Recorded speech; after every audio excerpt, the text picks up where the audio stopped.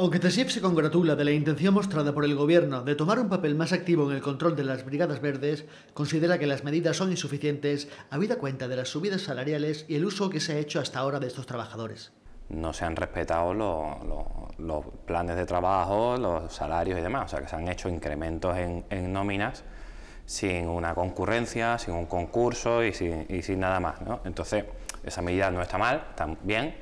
pero no tendrían que haberse quedado ahí, tendrían que haber ido un poco más, hacer una especie de auditoría interna del ayuntamiento con todas las nóminas, ver si hay algún tipo de irregularidad, si la hubiera, eh, corregirla y, plasmarlo en el papel de tal forma que en el caso de que haya que dar algo sea el ayuntamiento que tenga que autorizarlo y sea algo justificado y mediante concurso, transparencia, igualdad, mérito, capacidad, que es lo, eh, lo mínimo que se pide en cualquier ámbito que, dispone de, fondos públicos. Critican además que los cambios efectuados por el Gobierno se hayan realizado de forma unilateral sin contar con las opiniones del sindicato. De forma arbitraria es algo que al 100%, a 100% tampoco se puede decir, porque no se sabe en base a qué han sido esos incrementos, no lo saben ni los propios trabajadores, no saben, o sea, eh, han dado un complemento a lo mejor a alguien o un dinero en base a algo teórico que no se sabe muy bien lo que es, porque no hay información. Eh, pero nadie ha sabido concretar en qué, por qué se ha dado, no ha habido ningún tipo de convocatoria, no ha habido ningún tipo de, asignación por un trabajo nuevo, diferente a lo que estaban haciendo.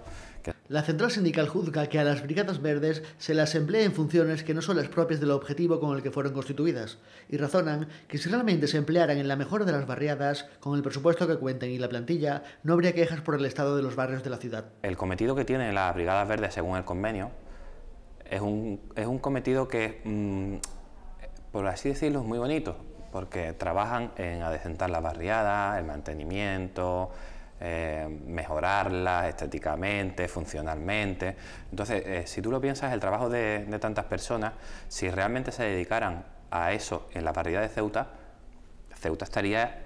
hecha un yogur, ¿no? Con perdón de la expresión, ¿no? Claro, lo que pasa es que no lo utilizan para eso, o lo utilizan mínimamente para eso, realmente lo utilizan